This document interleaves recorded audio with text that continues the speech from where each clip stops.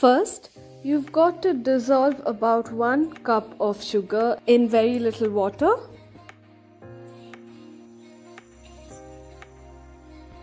Then separately, mix half a cup of coconut and half a cup of maida that is refined flour.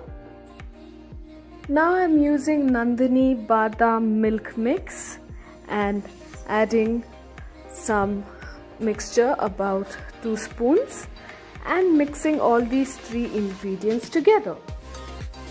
Once that's done, add this mixture to the sugar syrup and mix well until it is cooked.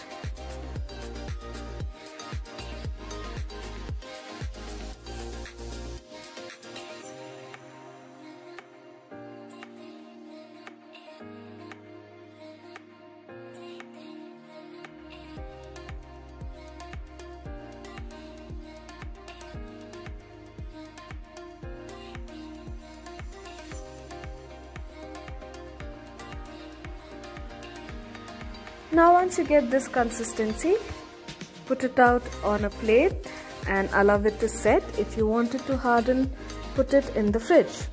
And it's ready! Super easy Maida Burfi is ready.